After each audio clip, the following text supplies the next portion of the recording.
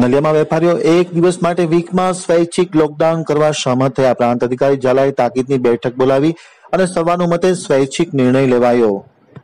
અબડાસા પંથકના મુખ્ય મથક નલિયામાં ખાસ કરીને કોરોનાનું સંક્રમણ વધી રહ્યું છે, ત્યારે આજે નલિયાના પ્રાંત અધિકારી ડીએ ઝાલાએ તાકીદની એક બેઠક બોલાવી હતી અને બેઠકમાં ખાસ કરીને કોવિડ નાઇન્ટીનને પહોંચી વળવા માટે કેટલીક વિસ્તૃત ચર્ચા વિચારણા કરવામાં આવી હતી. આ ચર્ચા વિચારણાના અંતે ખાસ કરીને નલિયામાં અઠવાડિયામાં એક દિવસ સ્વૈચ્છિક લોકડાઉન બંધ પાડવાની તમામ જ્ઞાતિના આગેવાનોને અપીલ કરી હતી અને અપીલ અનુસાર અઠવાડિયામાં એક દિવસ માટે લોકડાઉન કરવાની સહમતિ દાખવી છે. ઇન્ચાર્જ ટીડીઓ કે કે પંડ્યા નાયબ મામલતદાર શ્રી વારા વેપારી એસોસિએશનના પ્રમુખ હકુમતસિંહ જાડેજા તેમજ હિન્દુ મુસ્લિમ સમાજના અગ્રણીઓ અને વેપારીઓ આ બેઠકમાં ઉપસ્થિત રહ્યા હતા.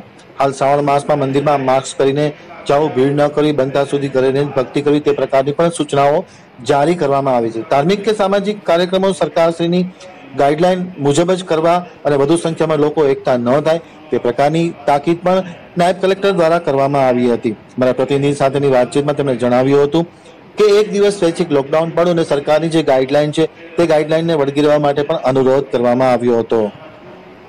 હાલમાં સમગ્ર ગુજરાતમાં અને સાથે સાથે કચ્છમાં અબડાસામાં જે કોરોનાના કેસના સંક્રમણના કારણે જે કેસોમાં અત્યારે ચિંતાજનક વધારો થઈ રહ્યો છે, તેના અનુસંધાનમાં એક આગેવાનો સાથે આજે નલિયા ખાતે, તાલુકા પંચાયત હોલ ખાતે મિટિંગ રાખવામાં આવેલી.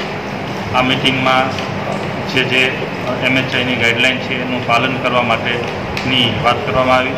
અને સાથે સાથે અત્યારે પવિત્ર શ્રાવણ માસ ચાલુ છે. ત્યારબાદ બકરી ઈદનો તહેવાર પણ આવે છે.